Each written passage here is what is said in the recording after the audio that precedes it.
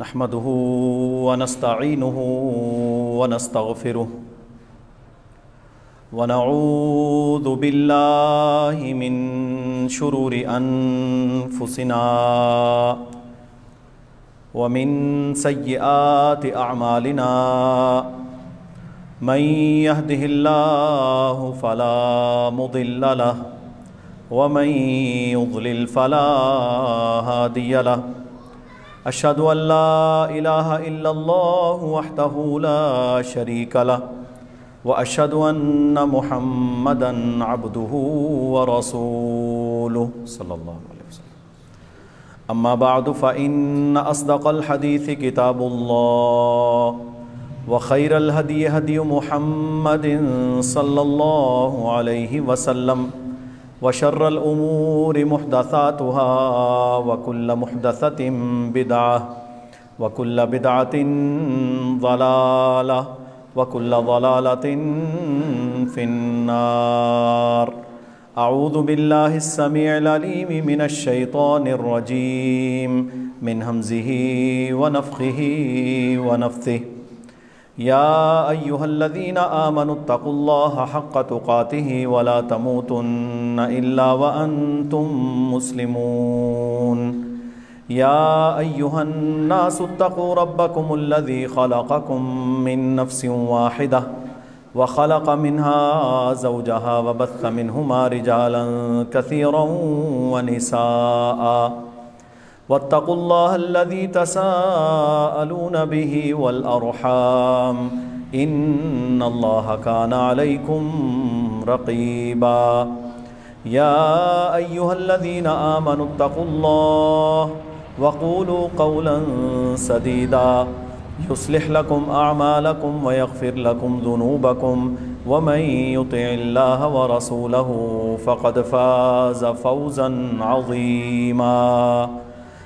अज़ीमा रब्बिशरहली सदरी वयसरली अमरी वहलुल उक़दतम मिन लिसानी यफ़क़हू क़ौली अल्लाहुम्मा सल्लि अला मुहम्मद व अला आलि मुहम्मद कमा सल्लैत अला इब्राहीम व अला आलि इब्राहीम इन्नका हमीदुम मजीद अल्लाहुम्मा बारिक अला मुहम्मद व अला आलि मुहम्मद कमा बारकत अला इब्राहीम व अला आलि इब्राहीम इन्नका हमीदुम मजीद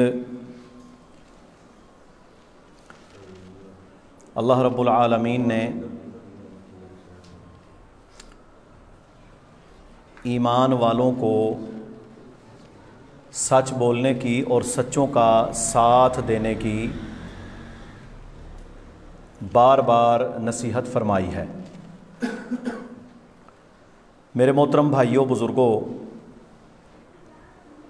रसूलुल्लाह सल्लल्लाहु अलैहि वसल्लम जब पहली बार फ़ारान की चोटी पर खड़े हुए और आपने अपने सगे रिश्तेदारों को तोहीद की, इस्लाम की सच्ची दावत पेश की तो आप सल्लल्लाहु अलैहि वसल्लम ने उस दावत के पेश करने से पहले अपने किरदार को पेश किया। क्योंकि अल्लाह के नबी अलैहिस्सलाम ने 40 बरस उस मक्का में अपने खानवादे के अंदर तिजारत में मामलात में गुजारे थे। तो आप सल्लल्लाहु अलैहि वसल्लम ने सबसे पहले उनसे ये पूछा कि, लोगों, तुम्हारा मेरे बारे में क्या ख्याल है? तो सारे लोगों ने बैक ज़ुबान ये कहा कि, हमने आपको सादक और अमीन पाया। हमने आपको सादिक और अमीन पाया। तो आप सल्लल्लाहु अलैहि वसल्लम ने दूसरा सवाल ये किया कि अगर मैं तुमसे कहूँ कि इस पहाड़ के पीछे से एक लश्कर तुम पर हमला करने के लिए आ रहा है तो क्या मेरी बात को मान जाओगे? उन्होंने कहा, जी, बिल्कुल मान जाएँगे, क्योंकि आपने कभी झूठ बोला ही नहीं। आपने कभी झूठ बोला ही नहीं। तो मेरे मोहतरम भाइयों रसूलुल्लाह सल्लल्लाहु अलैहि वसल्लम ने जब ये बातें अपने रिश्तेदारों से, मक्का के रहने वालों से पूछी तो उसके बाद एक ही जुमला कहा कहा, कुलू ला ए मेरे मक्का के रहने वाले लोगों, ला का इकरार कर लो।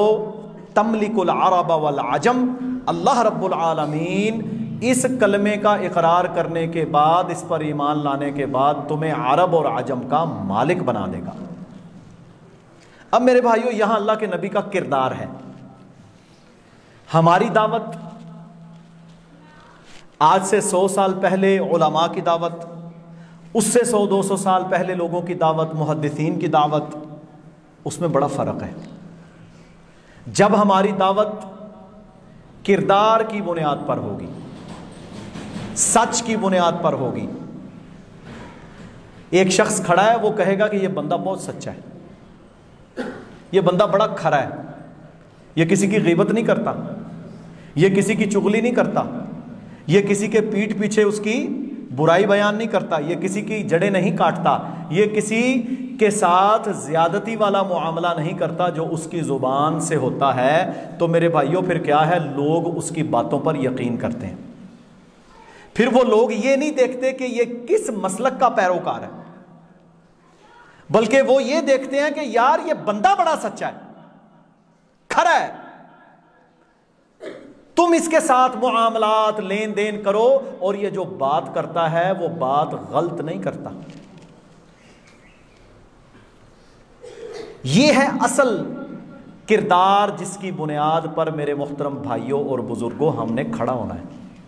अब देखें ना, पहली वही अल्लाह के नबी सल्लल्लाहु अलैहि वसल्लम पर जब नाजिल हुई, सही बुखारी में पूरा वाक़ जबरील अलैहिस्सलाम आए, गार में थे, आप सल्लल्लाहु अलैहि वसल्लम को अपने सीने के साथ लगा के दबाया दबाया और क्या फरमाया? इकरा, या मोहम्मद। ए मोहम्मद वसल्लम, पढ़िए। फरमाया, मैं अना बेकारी, मैं तो पढ़ना जानता ही नहीं। तीन दफ़ा ये कहा, फिर इकरा, बिस्म रबिकल्लि खलक। कुरान नाजिल हुआ। रसूलुल्लाह सल्लल्लाहु अलैहि वसल्लम पर कुरान का बड़ा बोझ था। देखें, कुरान अल्लाह का कलाम है। हम पर नहीं ना असर करता। झूठे पर, बेईमान पर, फ्राडिये पर, जालिम पर, बहन बेटी का हक खाने वाले पर कुरान नहीं असर करता। कुरान असर उस पर करता है जो ईमान वाला है, जो यकीन वाला है, जो फर्मा बरदार है। बागी और अल्लाह का दुश्मन और अल्लाह की नाफरमानियाँ करने वाला कुरान पढ़ते रहे, कोई फ़ायदा नहीं। हमारे घरों में कितने कुरान पढ़े? लोगों ने तवीज लटके कुछ कोई फ़ायदा नहीं। क्यों? कुरान उन पर असर करता है जो ईमान वाले हैं, जो अल्लाह पर यकीन रखते हैं और अमल करने की सोचते हैं। तो क्या हुआ? रसूलुल्लाह सल्लल्लाहु अलैहि वसल्लम घर तशरीफ़ लाए। अब कुरान का एक रोब है, अल्लाह का कलाम है, और अल्लाह ताला ने दूसरे मुकाम पर फरमाया ना कि लव अनजलना हाजल कुरान अला जबलिन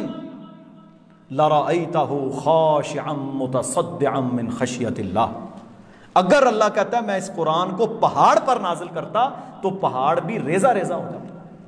इमाम कायनात आसलाम अपने घर तशरीफ़ लाए। हमारी अम्मी खदीजा उमुलमिन रज़ी अल्लाह तहा के पास आए और क्या फरमाया? फरमाया, खदीजा, मुझे मेरी जान का ख़तरा है।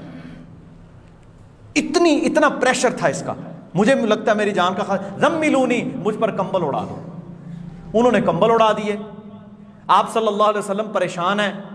तो वहाँ उस परेशानी में हमारी माँ उमुलमिन खदीजा रज़ी अल्लाह तहा ने कौन से कैरेक्टरिस्टिक्स, कौन सी खूबियाँ, कौन सी सिफात मेरे नबी की बयान की थी, जिन सिफात वालों को अल्लाह ज़ाया नहीं करता?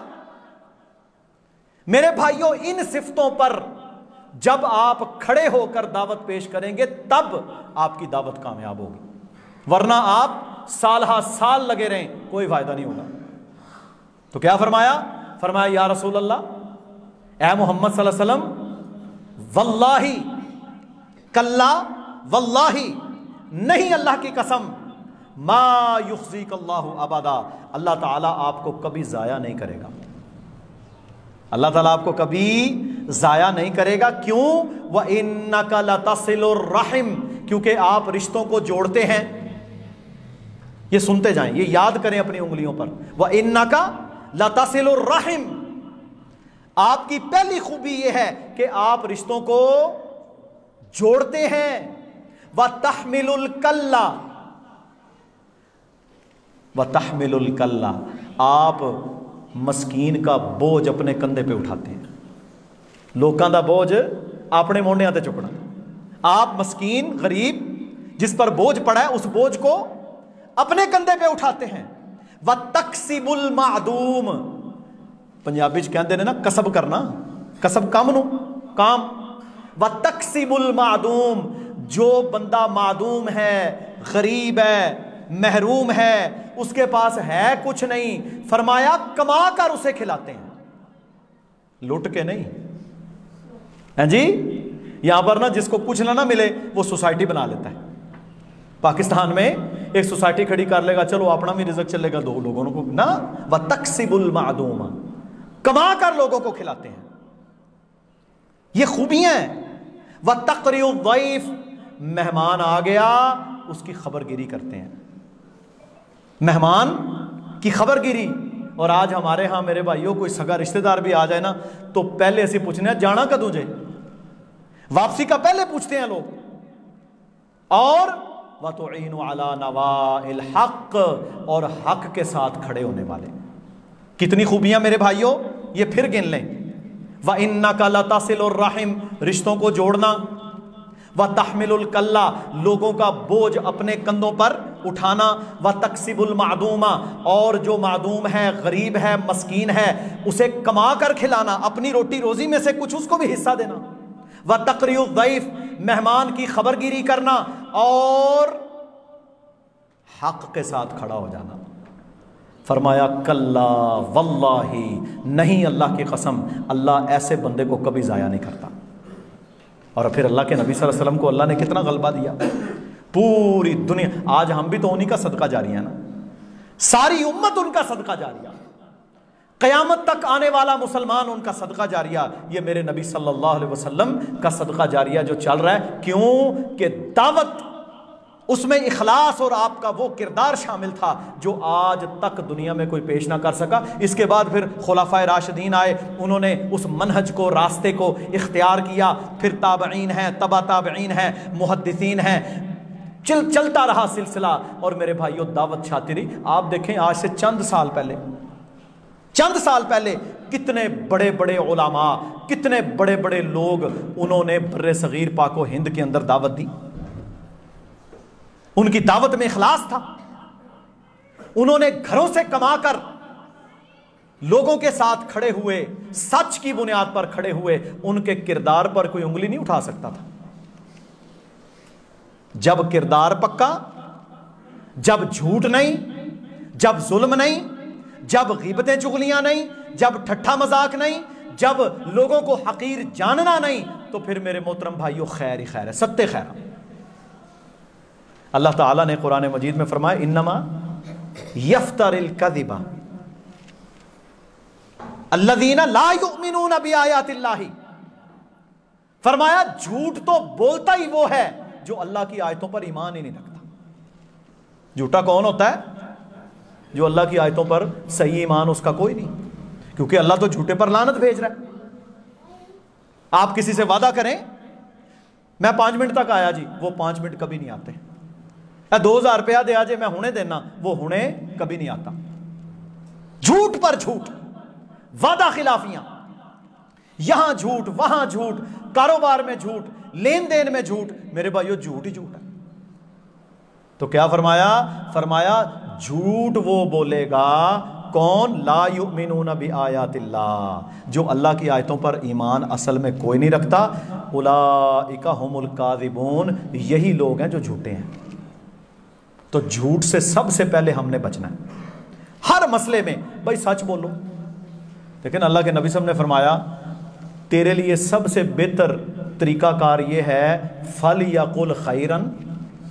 या तो चंगी गल कर औलियसमुत या चुप रह वो पंजाबी कहते ना भैड़े बोलने नालों चुप चंगी फल या कुल खैरन औलियसमुत और भाई बोल तो अच्छा बोल वरना चुप मेरे भाइयों बाज दफ़ा अगर आप झूठ से बचते हुए चुप रह जाए ना ये उस बोलने से ज़्यादा बेहतर है अल्लाह अकबर। और मेरे भाइयों, अल्लाह ताला ने जहाँ कुरान मजीद सूर्य हज में बुत प्रस्ती से रोका है ना फजतनबुर्रिज मिनल अवसान ये बुतों की गंदगी और इनकी इबादत से बचो वज तनिबू कौल जूर और झूठ से भी बचो। जहाँ अल्लाह ने बुत प्रस्ती का रद्द किया है, वहाँ अल्लाह ने क्या किया है? वहाँ अल्लाह ताला ने साथ ये भी फरमाया है कि तुमने बुत प्रस्ती भी नहीं करनी और झूठ भी नहीं बोलना तो सच बोलने की आदत डालें। देखे ना, आप घर में बैठे हैं, बंदे ने बाहर दरवाज़ा खड़काया, अपने बेटे से कह रहा, उन्होंने क्या मैं घर नहीं है। और जाओ, उन्होंने क्या मैं घर नहीं। मोबाइल उठा के को जाओ, मैं घर नहीं हूँ। यार, आप ये नहीं कह सकते कि मैं बिज़ी हूँ। अभी मैं आपसे बात नहीं कर सकता, आप बाद में कर लें। कोई हरज है? आप बच्चे को कहें, बाबा सो रहे हैं या वॉशरूम में हैं, आप बाद में आ जाएँ। मेरे भाइयों, इतना कहने में कोई बंदा जो है वो कोई गन मार देगा आपको? कोई जो है वो बम छुड़ा देगा? कुछ भी नहीं होगा। वो चला जाएगा वापस। लेकिन वो कार नहीं है। अच्छा वो झूठ कौन बोलेगा जो असल में फराडिया है? जिसने वादा किया था, पूरा नहीं हो रहा। जिसने किसी को नौसरबाजी की है। अच्छा उसमें भी झूठ। वादा किया, उसमें भी झूठ। कर्ज लिया, इतने दिन दे दूँगा, वो भी झूठ। यहाँ बैठा इस मजलिस में, बातें कर रहा है। वहाँ जाकर वो बातें बयान करेगा। इसमें दो गुना शामिल हो गए। एक झूठ, क्योंकि उसने सात, दस चीज़ें मिलाई हैं। और दूसरे नंबर पर, अगर वो गुना जिसका बयान कर रहा है उसमें मौजूद है, फिर तो ये हो गई गीबत। गीबत और चुगली। और अगर वो उसमें गुना है ही नहीं ही अपने को ला के दस रहा है तो फिर वो क्या होगा? बोहतान। और हदीस में क्या है? जो बंदा किसी पर बोहतान बांधता है, वो जहन्नुम में वहाँ होगा जहाँ जहन्नमियों का खून और पीप जमा होगा। यार हम कहाँ खड़े हैं? देखो ना, आपका भाई है, आपका हम जमाती है, आपका हमसाया है, उसमें कोई खराबी है, आपके ऊपर क्या फ़र्ज़ है? उसका हाथ पकड़े, उनको यार इस तरह ना कर यार ये अच्छी बात नहीं है। यहाँ बात, वहाँ बात, इसको बात, लगाई, बुझाई, लोगों के साथ ज्यादती करना, लोगों के ऊपर बोहतान बांधना। और मेरे भाइयों, अल्लाह की कसम, आज से सौ साल के बाद यहाँ कौन होगा आपको पता? है आज से सौ साल पहले जिन मकानों में मैं और आप रह रहे हैं, कौन रहता था यहाँ? ये चुदराहटें ये जमीनें, ये जायदादें, ये मामलात सारे के सारे हमारे सांस के साथ हैं। जब हम मट्टी में चले गए मेरे किस काम का? ये सोच डेवलप करनी है, फिर आपकी ज़ुबान से वही निकलेगा जो हक है। वही निकलेगा। और मेरे भाइयों, सही बात है। इमाम कायनात सल्लल्लाहु अलैहि वसल्लम ने फरमाया था फरमाया था, दो चीज़ों की मुझे ज़मानत दे दो, मैं तुम्हें जन्नत की ज़मानत देता हूँ। मशहूर हदीस है। ज़ुबान और शर्म का। गीबतें, चुगलियाँ, फजूलियात। अच्छा एक गीबत है, एक चुगली है, एक बहतान है, और एक इनमें से ऐसी चीज़ है जो फजूल बंदा अपने शैतनत को तस्कीन देने के लिए करता है। मिसाल के तौर के ऊपर कुरान में अल्लाह ने फरमाया वईलुल्लिकुल्लिहुमज़तिल्लुमज़ा अल्लाह कहता है, हलाकत और जहन्नुम की वादी वैल उन लोगों के लिए है जो हमज और लम्ज करते हैं। हमज और लम्ज पता क्या होता है? इशारे के साथ किसी की टुट मोटा, ये छोटा एक काला। फिर यह है कि वो बंदा जो इसे नापसंद करता है। देख, कई मोटे हैं, उनका नाम ही होता है मोटू। या उन्होंने अपनी दुकान का ना, पहलवान शाप। अब हमारे मंडी बाउद्दीन में एक शॉप है, उसका नाम है मोटा फीका। यानी वो मशहूर ही इस नाम से है। ये नहीं, वो चीज़ जो आ, वो ना पसंद करता है। इशारों से किनाए से आँख मार के इशारा करके उसकी चाल के बारे में उसकी ढाल के बारे में उसकी ज़ुबान के बारे में उसकी गिफ्तार के बारे में। अच्छा मुझे ये बताओ मेरे भाइयों अगर किसी को अल्लाह ने लंबा पैदा किया या छोटा पैदा किया या काला बनाया या सफ़ेद बनाया ये अल्लाह ने बनाया ना? मेरा इसमें कोई इख्तियार है? कई लोग उनका नाम ही कालू होता है और वो भी इसे माइंड नहीं करते कोई हर्ज नहीं। या किसी को बताने के लिए यार वो शख्स जो काले रंग का था। एक होता है उसको चिढ़ाने के लिए। तो ये छोटी छोटी गीबतें हम करते हैं, चुगलियाँ करते हैं। अब देख लें, वो लोग जिन्होंने अल्लाह के साथ शिरक किया, अल्लाह की दुश्मनी मूल ली, मेरे मोहतरम भाइयों, उन्होंने क्या किया? उन्होंने सबसे पहले तो अल्लाह पर झूठ बांधा।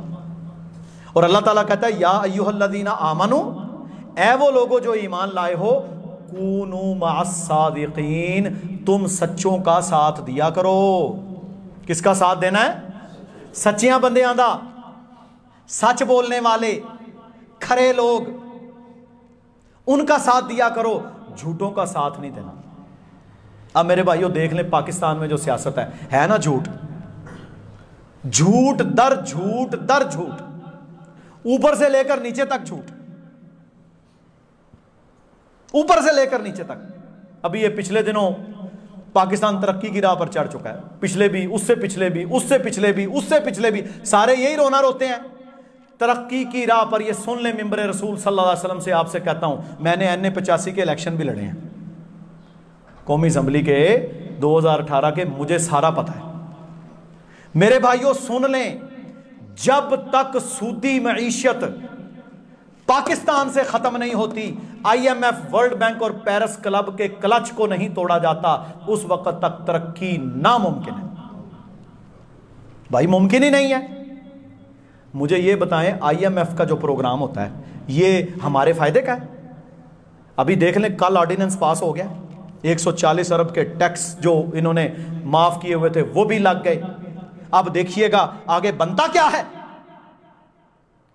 जब नेपरा आज़ाद होगा तो पेट्रोल तो दो सौ रुपए लीटर मिलेगा आपको।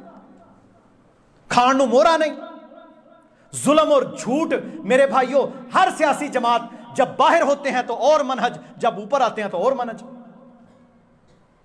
सवाए झूठ के कुछ नहीं है, और सूदी मीशत। अल्लाह ताला ने क्या फरमाया?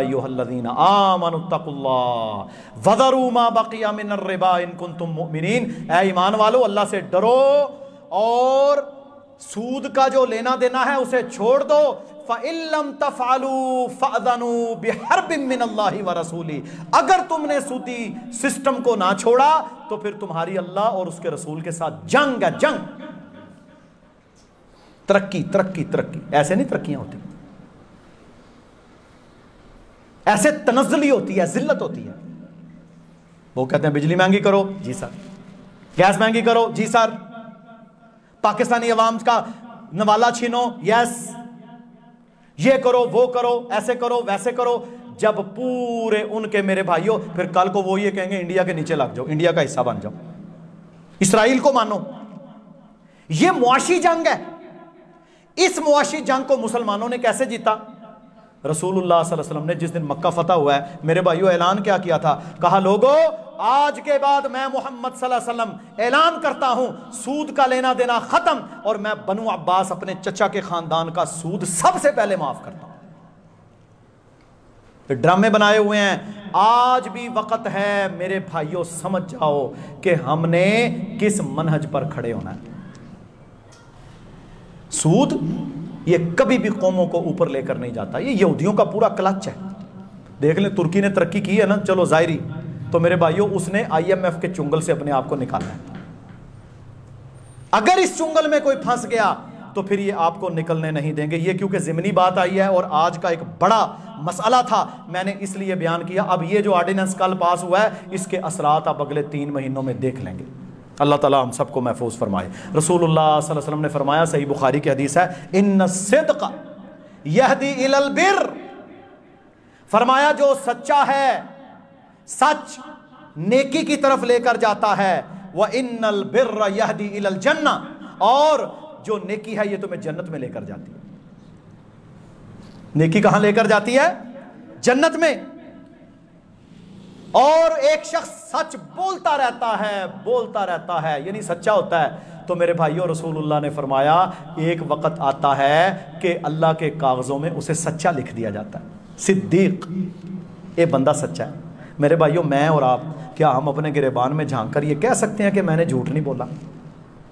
जानबूझकर। और इसी तरह फरमाया, वह फुजूर। झूठ इंसान को गुनाह की तरफ़ लेकर जाता है और गुनाह इंसान को जहन्नुम की तरफ़ लेकर जाता है। एक शख्स झूठ बोलता रहता है, बोलता रहता है हत्या के अल्लाह के कागजों में उसे कद्दाब लिख दिया जाता है। क्या लिख दिया जाता है? ये पक्का झूठ है। और मेरे भाइयों, इसी तरह रसूलुल्लाह सल्लल्लाहु अलैहि वसल्लम ने फरमाया, जिस बंदे के अंदर चार बद खसलतें हों, कितनी? चार। एक रिवायत में है तीन। काना मुनाफिकन खालिसन, वो खालिस मुनाफिक है। और उसकी बेस क्या है? कि इदा हद्दा कदिब जब बात करे तो झूठ बोले। इदा आहदा गदर जब वादा करे तो गद्दारी करे। जब अमानत रखी जाए तो ख्यानत करे। ये मेरे भाइयों, वो बद खसरे इन सब में झूठ शामिल है। अमानत में ख्यानत करेगा, झूठ बोलेगा। मैं तो नहीं कुछ किया। वादा किया, झूठ बोला, आया नहीं जानबूझ के जब ज़ुबान से बोलेगा तो झूठ। जब झूठ बोलता रहेगा तो निफाक के अंदर वो दाखिल हो जाएगा। इसी तरह मेरे भाइयों, बदगुमानी। दो बंदे बैठे हैं, वो अपना काम कर रहे हैं, कहते मेरे बारे च गल् कर रहे सन मुझे लगता है कि ये मेरे बारे में बातें बदगुमानियाँ। फिर उसकी बेचारे का तवा लगाएँगे, इस मजलिस में, उस मजलिस में। होता क्या है? कुछ भी नहीं। और मेरे भाइयों, याद रख लो, जब हज़रत अबू बकर को खलीफा बनाया गया ना रज़ी अल्लाह अनहु, इससे बड़ा कोई अहदा है? नबूवत के बाद, नबूवत के बाद इस उम्मत में सबसे बड़ा अहदा खिलाफत ही है ना। खलीफा का अहदा सबसे बड़ा नबू, नबूवत तो नबूवत है, उसका तो सानी कोई नहीं। खलीफा तो रसूल सल्लल्लाहु सैदना अबू बकर सिद्दीक रज़ी अल्लाह तहो जिस दिन खलीफा बने हैं, पहले दिन मिंबर पर खड़े होकर पता क्या फरमाया? खुतबा पढ़े जाके सही बुखारी में। कहा, लोगो, मैं तुम्हारा मालिक नहीं हूँ। मेरी मस्जिद, मैं मस्जिद कमेटी का सदर। मेरे हुक्म के बगैर ये नहीं हो सकता। ना तुझे खिदमत के लिए अल्लाह ने चुना है शुक्र कर तुझे खिदमत के लिए अल्लाह ने चुना है शुक्र कर अल्लाह जलील करने पे आए तो तुझे ऊंधे मुँह गिरा दे। हम सबके ऊपर फिट होता है ना ये। मेरे भाइयों, क्या? कहा मैं तुम पर मालिक नहीं हूँ। ए लोगो, जब तक मैं अल्लाह के दीन के मुताबिक तुम्हें हुक्म दूँ, मानना, जब मैं अल्लाह के दीन की खिलाफ वर्जी करूँ, मेरी बात नहीं माननी। हालाँकि हज़रत अबू बकर से, मेरे भाइयों, क्या कुछ सोच भी सकता है कि वो गलत बात का हुक्म देंगे? ऐसा क्लियर मनहज आपने जिस शोबे में भी मेरे भाइयों खड़े होना है तो ये जो ज़िम्मेदारी आपको अल्लाह ने दी है, उसको अल्लाह की तरफ़ से अमानत समझना है। और उस अमानत का हक देना, आप देखें ना, हदीसें बिल्कुल वाजे हैं। फरमाया, जिस बंदे को किसी शोबे का भी अमीर बना दिया गया चाहे वो मस्जिद का अमीर है, चाहे वो जमात का अमीर है, चाहे वो किसी लेवल का मसूल है, जिम्मेदार है तो क्या फरमाया?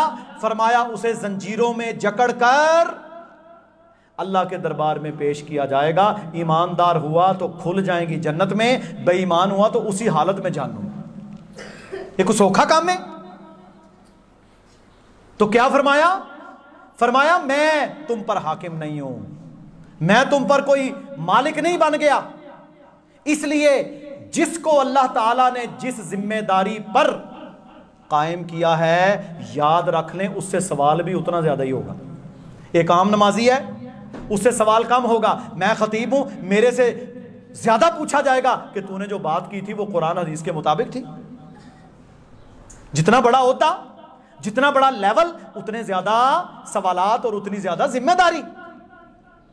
सही हदीस में है रसूलुल्लाह सल्लल्लाहु अलैहि वसल्लम ने फरमाया, वो बंदे जो फ़ोकारा अल मुहाजरीन होंगे ना, गरीब, मस्कीन, मुहाजिर, मुजाहिद, अल्लाह की राह में लड़ने वाले, खर्च करने वाले, कोई कमाया, खा लिया, नेकी पर, तकवे पर ज़िंदगी गुजारी, फरमाया वो अमीर कबीर जक़ात देने वाले नेक मुसलमानों से पाँच सौ साल पहले जन्नत में दाखिल होंगे। वजह क्या है? जो अमीर होगा ना, नेक अमीर, वो अपने खाते सीधे कर रहा होगा। ऑडिट अल्लाह का ऑडिट होना है। कहाँ से कमाया, कहाँ लेके आया, बहन को हक दिया, बेटी को हक दिया, जुल्म तो नहीं किया, जबर तो नहीं किया, हराम तो नहीं कमाया, सारा साहब देना है ना। तो जो गरीब होगा ना, जब वो जन्नत का दरवाज़ा खटकाएगा ना, फरिश्ते पूछेंगे हाँ भाई, हिसाब दिया? कहता है, साहब, किस चीज़ का? मेरे पास था ही कुछ नहीं। मेरे पास मेरी जान थी, मेरा ईमान था, मैं तो फ़कीर और मुहाजिर था, अल्लाह की राह का मुजाहिद था। जो था मैंने अल्लाह की राह में कुर्बान कर दिया, माल भी दे दिया, जान भी दे दी। फरिश्ते कहेंगे, चल जन्नत यहाँ से क्या साबित हुआ? जितनी ज़्यादा ज़िम्मेदारी, उतना ज़्यादा अल्लाह का खौफ। साहबा कहते हैं सैदना उमर रदी अल्लाह तहों से सख्त बंदा हमने नहीं देखा। अल्लाह के नबी के दौर में मेरे भाइयों, उम्मा उम्मातुल अभी पर्दा फ़र्ज़ नहीं हुआ था। पर्दे के हवाले से अल्लाह के नबी सब के साथ जा, जाकर अल्लाह के हज़रत उमर रज़ी अल्लाह बार बार गुफ्तु करते हैं। अल्लाह के नबी उम्मातुलमिन को पर्दा करना चाहिए। अभी पर्दा, अभी सिस्टम नाजिल हो रहा है। पर्दा नाजिल हो गया। दीगर मसाइल, सख्ती। साहबा कहते हैं, हमने देखा। वो उमर बिन खत्ताब रज़ी अल्लाह तहो कि जो अमीरुलमोमिन बनने से पहले बड़े सख्त थे जिस दिन अमीरुलमोमिन बने, हमने उनसे नरम बंदा नहीं देखा। कितना बड़ा होता है, लेकिन नरमी आ गई। ये है मनहज साहबा। जितनी बड़ी ज़िम्मेदारी आपके पास है, आपने उतना नरम, उतना अच्छा उतना पोलाइट, उतना सच्चा, उतना मोहब्बत करने वाला और उतना अपने आप को रिस्पॉन्सिबल समझना है कि मैं कल क़यामत के दिन अल्लाह के सामने जवाब दूँगा। अल्लाह ताला हम सबको अपनी जिम्मेदारियाँ कमा हक हो निभाने की तोफ़ी कता फरमाए। या यूहल्लदीना आमनुजतनिबू कसीरम मिनन ए ईमान वालो, बहुत ज़्यादा बदगुमानियों से बचा करो। ये बदगुमानी पता क्या होती है? एवं ही किसी के बारे सोच दिया रहना। वो बेचारा अपने हिसाब से जा रहा है। अब देखे ना, एक बंदा उसकी आँख खराब है। आप कहेंगे मेरी तरफ़ देख रहा था। एक बंदा बीमार है, वो ऐसे है। वो बेचारा किसी अपने काम जा रहा है, वो दिल से परेशान हो, ऐसे देखे जा रहा है, ये कहेगा, इसने मेरी तरफ़ देखा। बदगुमानी। मस्जिद में दो लोग बैठे हो कहते हैं, मेरे बारे में सोच रहे हैं। मुझे लगता है कि आप मेरे बारे में गुफ्तगु कर रहे हैं। फरमाया, ईमान वालो, बहुत ज़्यादा बदगुमानियों से बचा करो। इन नबादनी इसमुन। बाज बदगुमानियाँ ऐसी होती हैं जो गुनाह है। बदगुमानी हमने नहीं करनी। अच्छा पाकिस्तानियों में एक बड़ी बीमारी है, बड़े सग़ीर में ज़्यादा है, कि हम दूसरों के मामला में टांग ज़्यादा अड़ाते हैं। इस्लाम क्या कहता है? इस्लाम क्या कहता है? इस्लाम कहता है, सबसे बेहतर इस्लाम उसका है, तरकूहू माला यानी, जो ला यानी चीज़ों को छोड़ दे। अपने काम से काम रखें सीधे चलते जाए, किसी से गरज नहीं ज़्यादा, किसी की तरफ़ देखने की ज़रूरत नहीं है मामलात में फंसने की ज़रूरत नहीं है। क्या पड़ा है आपको? किसी के मामलात में अमल दखल देकर आपको क्या फ़ायदा होगा? हाँ कोई आपको बुलाए, कहीं किसी को मदद की ज़रूरत है, जुलम हो रहा है, वो अलग बात है। राह जाती मुसीबत। टांग अड़ाना। तो ये नहीं करना हमने। फरमाया, वाला तजस्सू, और लोगों की जासूसी नहीं करनी। इसके घर में कितने फ़र्द हैं? क्यों हैं? कितनी औरतें हैं? वो कहाँ से हैं? वो क्यों है? इसने कपड़े किधर से लिए हैं? ये पैसे कहाँ से कमाता है? भाई, ये मेरा काम नहीं है। अच्छा करेगा तो अल्लाह के हाँ अच्छा अजर पाएगा, बुरा करेगा तो अल्लाह पकड़ लेगा उसे। आपसे पूछा किसी ने? वाला तजस्सू, लोगों की जासूसी नहीं करना। एक दफ़ा ना कुछ बदवी नए नए मुसलमान होने के लिए आए। अभी उनको पता नहीं था, तरबियत नहीं हुई थी आगे मदीना में। अब अल्लाह के नबी वसल्लम के दौर के जो दरवाजे थे वो हमारी तरह थे। फटियाँ जुड़ी होती थी ना, बीच में कोई दरस भी रह गई, सुराख भी रह गया। तो उन्होंने क्या किया? अल्लाह के नबी वसल्लम अपने घरों में हैं। नमाज़ का भी वक़्त नहीं हुआ, वो झांकना शुरू हो गया।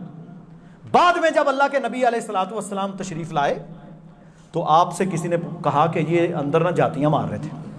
देखे ना, आप गुजर रहे हैं मेरे भाइयों, किसी का दरवाज़ा खुला रह गया, पर्दा बेचारा पीछे हो गया। आप अगर उसके घर में झांकते हैं, ये हराम और कबीरा गुनाह है। और इसकी सज़ा पता क्या है? सुने, अल्लाह के नबी ने सही बुखारी की हदीस है। किताबुल इस्तेदान। फरमाया, अगर मैं तुम्हें उस वक्त देख लेता कि जब तुम मेरे घर में झाँक रहे थे सुराखों के अंदर से तो जो सोटी डंडा मैंने रखा हुआ है ना खारिश करने के लिए, मैं उसके साथ तुम्हारी आँखें फोड़ देता।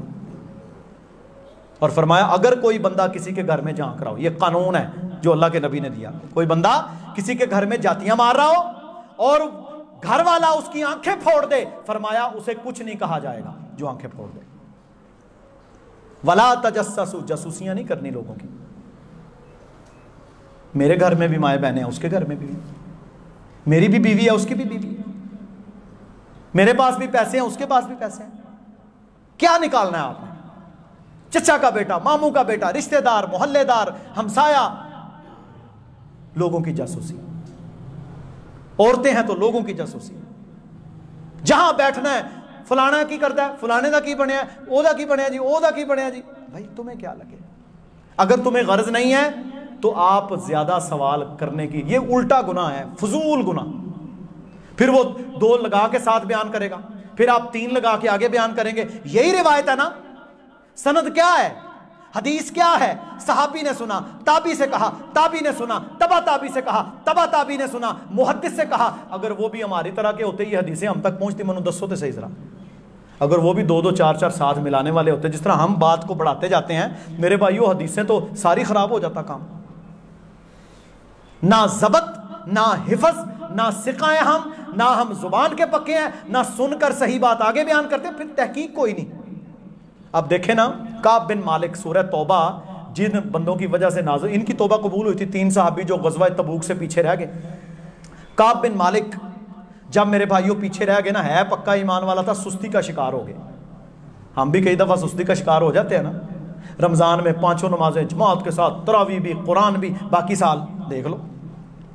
सुस्ती का शिकार हो गए ईमान नीचे चला गया, लेकिन रहता तो बंदा ईमान वाला ही है। तो मेरे भाइयों, काब बिन मालिक पीछे रह गए, मुनाफिक थे ना जो, उन्होंने वहाँ प्रोपेगेंडा ओ जी, अल्लाह के नबी सम ये है ही वैसे था, ये ऐसे था, ये था ही ऐसे। बस उनके बारे में प्रोपेगेंडा शुरू कर दिया, मुनाफिकों ने। वो मुनाफिक भी साथ थे कुछ। तो कुरान में मेरे भाइयों, उन मुनाफिकों का तो ज़िक्र चले हुआ वहाँ मुआज बिन जबल रज़ी अल्लाह तहों ने पता क्या फरमा फरमा या रसोल्ला अल्लाह की कसम, हमने काब बिन मालिक को सिवाय खैर के किसी और चीज़ पर नहीं पाया। कोई मसला होगा जिस वजह से वो नहीं आ सका, अपने भाई का तहफ़ुज करना, उसकी पीठ पीछे। मैं ये सौ फ़ीसद गारंटी के साथ कहता हूँ, आज के दौर में ऐसा बंदा आपको शायद ही मिले, जो किसी मुसलमान भाई की पीठ पीछे उसका तहफ़ुज करे, दिफा करे। हमें तो मौका चाहिए हम तो अपने खतीब, अपने मौलवी, अपने मेरे भाइयों, पिंड के बड़े बुज़ुर्ग, हम तो उसको नहीं छोड़ते। काम ही हमारा ये है। गीबतें, चुगलियाँ, तवा लगाना। तो क्या हुआ? हज़रत मुआज ने फौरी तौर पर दिफा किया अपने भाई का। फरमाया, जो लोगों की इज़्ज़त का दिफा करेगा, उन पे पर्दे डालेगा, अल्लाह कल क़यामत के दिन उसके गुनाहों पे पर्दे डालेगा। है ना काम करने वाला?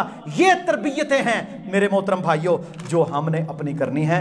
अल्लाह रब्बुल आलमीन हमें समझने की और अमल करने की तोफ़ी अता फ़रमाए। व आखिर दावाना अनिलहमदिल्ला रब्बिल आलमीन।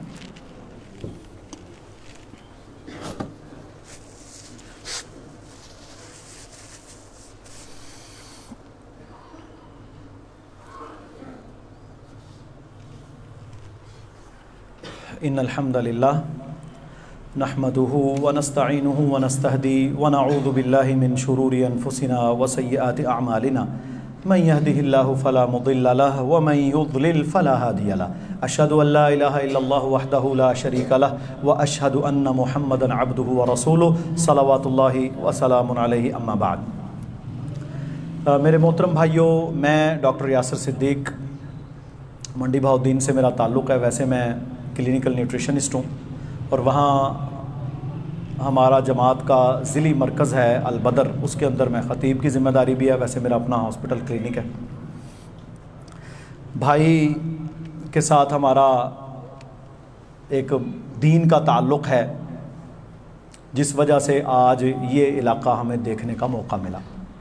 अल्लाह कहता है ना फ़सीर फ़िल अर्द फ़नजुरु कई फ़काना आक़िबतुलमुकद्दिबीन हमने ज़मीन की सैर करो, लेकिन सैर करो या जिहाद के लिए या अल्लाह के दीन की दावत फैलाने के लिए। दो ही काम है। बाकी जो सैरें हमारे यहाँ होती हैं ना, या उम्र हज करने जाओ। ये फजूल खर्चियाँ कहाँ गए थे? कि जी मैं नारान का गान दो लाख रुपए लगा के आ गया। हज किया? नहीं। फ़र्ज़ अदा किया नहीं और दो दो चार चार लाख नारान का गान। वहाँ अक्सर लोग मेरे पास आते हैं ना, डॉक्टर। ओ जी, नारान का गान गया, उस दिन मेदा ठीक नहीं होया। वो गंदा, गंदी चीज़ें आपको खिलाते होटलों में। बीमार। तो इसलिए लायानी चीज़ों से हमने बचा। हम आया अलहमदिल्ला जुमा भी पढ़ाना था। और साथ इसके मेरे भाइयों, मैं बेसिकली न्यूट्रिशनिस्ट हूँ। न्यूट्रिशन कहते हैं गज़ा को। न्यूट्रिशनिस्ट कहते हैं गज़ा के तयन के साथ लोगों का इलाज करने वाले को। रसूलुल्लाह सल्लल्लाहु अलैहि वसल्लम की हदीसों में ना, किताबों में, एक बाब है किताबुल अतामा, गज़ा खाने का बाब। एक है किताबुल अशरबा, पीने का बाब। एक है किताबुल तिब। तिब का है ना हदीस की? बुखारी में, मुस्लिम में, तिरमजी, अबू दाबूद सारी किताबों में। तो यानी जिस तरह किताब तोहीद या किताब सलाह या किताब रमदान वो हदीस के बाब हैं। इसी तरह ये भी अल्लाह के नबी ने हमें हर चीज़ बताई है।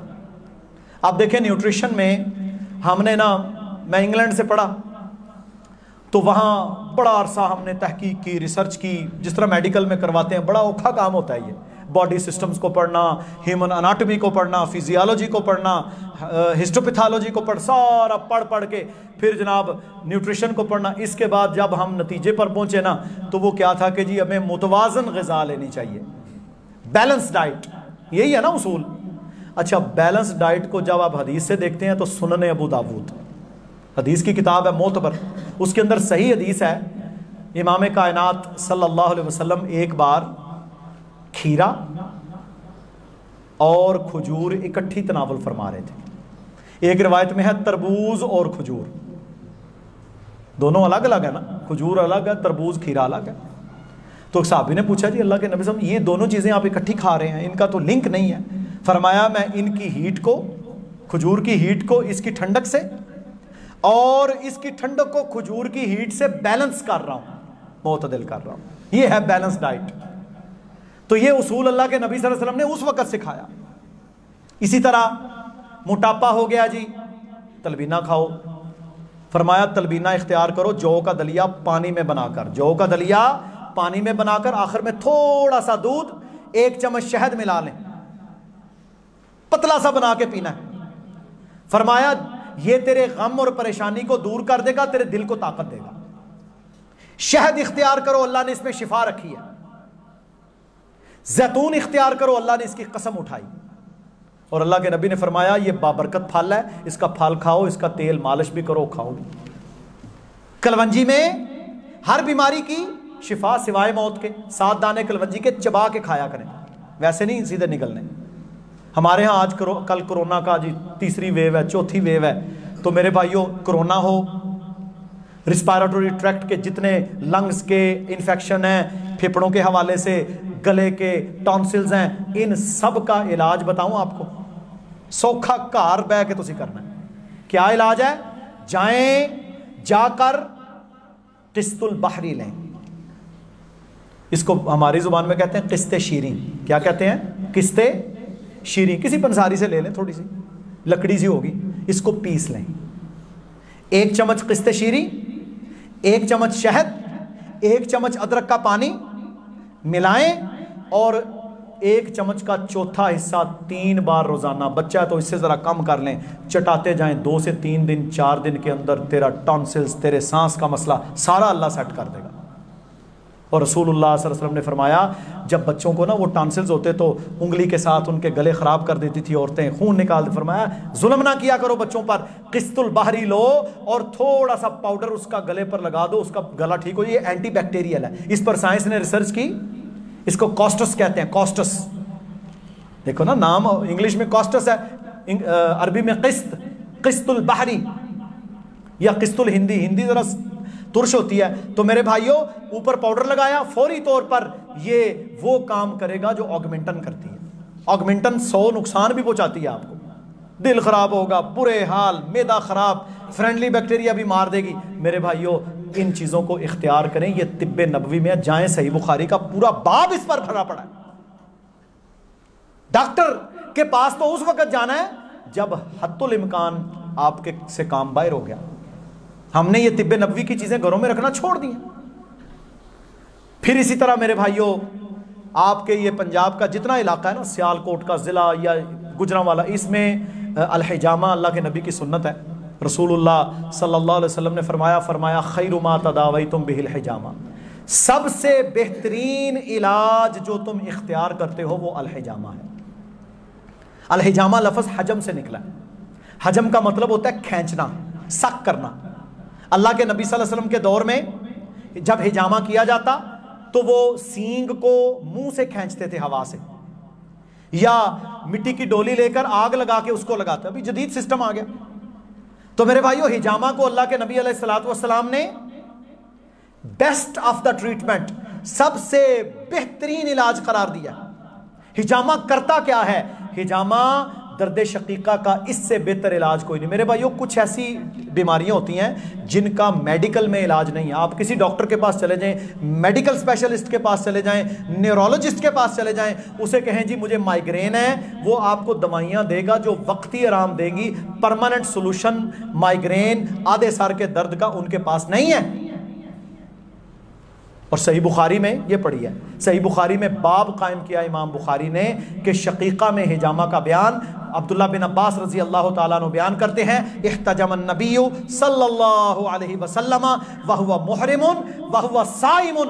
अल्लाह के नबी सल्लल्लाहु अलैहि वसल्लम एहराम और रोज़े की हालत में थे कि आपने अपने सर के ऊपर हिजामा करवाया जब आपको आधे सर का दर्द हुआ। और ये जब आप हज हज करने के लिए तशरीफ़ ला रहे थे ना हजतुलविदा वो लही जमल का एक इलाका मक्का से कुछ सौ, सवा सौ किलोमीटर पहले है, वहाँ पर हुआ था। हिजामा इख्तियार करें, ये आपके फासिद मादों को, गंदे खून को निकालेगा। डेड सेल्स जो होते हैं बॉडी में ना डेड सेल्स बनते हैं। आपकी जो शरियाने हैं, इनके इर्द गिर्द जो बेड्स होते हैं, उनके अंदर मेरे भाइयों डेड सेल्स मुर्दा खुलिए जमा हो जाते हैं। फासिद मादे जमा जिन्हें फासिद मादे कहा जाता है उन मादों को अगर आप नहीं निकालेंगे तो जादू होगा। बीमारियाँ आएँगी।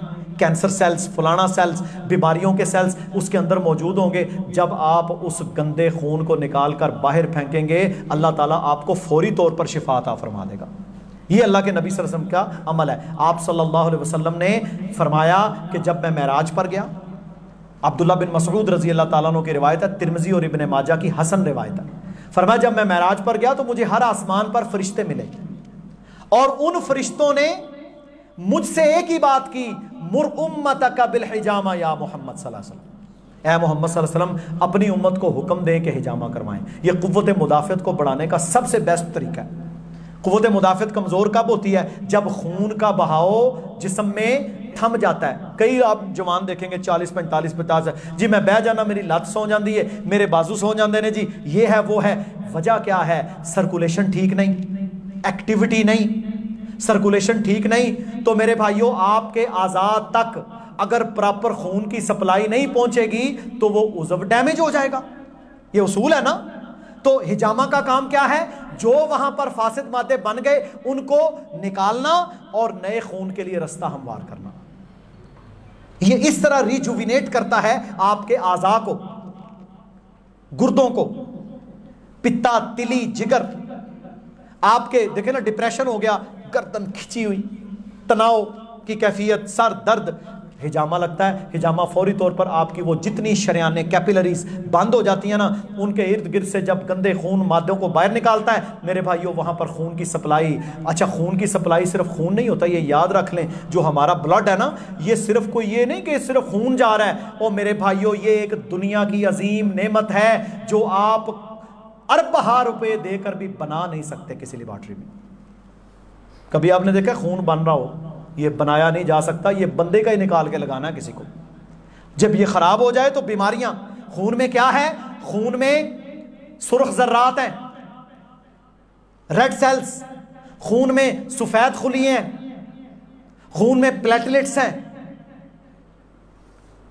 खून के अंदर न्यूट्रिशन है, खुराक है पूरी जिसम की। ये खून हमारे पूरे आज़ाद तक ऑक्सीजन लेकर जाता है। ये जो ऑक्सीजन आप ले रहे हैं ना, लंग फेफड़ों के ज़रिए से, ये मेरे भाइयों ब्लड स्ट्रीम में शामिल होकर हमारे एक एक उजव तक जाती है और जिनके खून में ऑक्सीजन की कमी हो जाए, फिर वो दिल के मरीज़ बनना शुरू हो जाते हैं। खून खुराक लेकर जाता है। खून के अंदर इम्यूनिटी फोर्सेज हैं जो जो बीमारियों के खिलाफ लड़ने वाली है ना कुत मुदाफ़त वो सारी खून के अंदर है सफ़ेद खोली है। जैसे ही जरासीम ने हमला किया, बीमारी आई, ये उससे लड़ना शुरू हो जाती हैं। अगर आपकी वो कुत मुदाफ़त कमज़ोर होगी तो आप बीमारियों से लड़ नहीं सकेंगे। कि जी, मैं हर महीने बीमार, हर दो हफ़्ते के बाद नजला ज़ुकाम बार बार बीमार हो जाता हूँ, आराम आता ही नहीं है। क्या होता है? डॉक्टर कहता है, एंटीबायोटिक खाओ।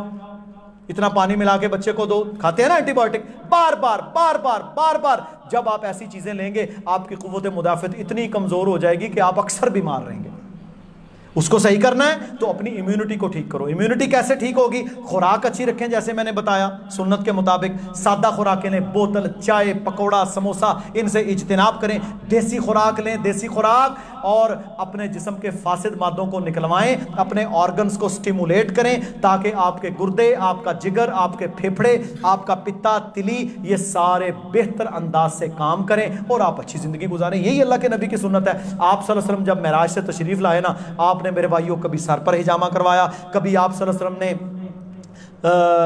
जो है, सर की बैक साइड पर कहा कि दो जगह पर पॉइंट लगवाओ, फिर आपने कंधों के दरमियान हिजामा लगवाने का हुक्म दिया। हम अल्हम्दुलिल्लाह आज कौन से हाजी साहब के घर हैं हम?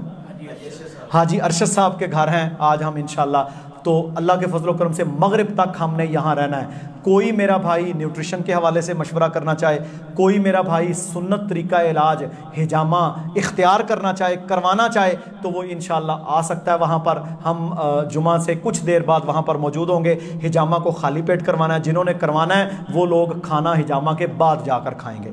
ठीक है जी, खाली पेट इसका ज़्यादा फ़ायदा होता है। इसके अमेजिंग बेनिफिट्स हैं। बाल गिरते हैं सर का दर्द है, कोलेस्ट्रॉल ज़्यादा है, यूरिक एसिड ज़्यादा है, गुर्दों के मसाइल हैं, जोड़ों के दर्द हैं, खून सर्कुलेट सही नहीं करता, पाँव टांगें सो जाती हैं, हाथ सो जाते हैं, हिजामा को इख्तियार करें। रसूलुल्लाह की सुन्नत है और अल्लाह के नबी ने बेस्ट ट्रीटमेंट इसे करार दिया और अब्दुल्ला बिन मसूद की क्या रिवायत है? फरमाया, जब मैं महराज पर गया, सारे फरिश्तों ने मुझे भी हुक्म दिया और ये भी कहा कि अपनी उम्मत को भी जाके कहिएगा कि हिजामा करवाएँ।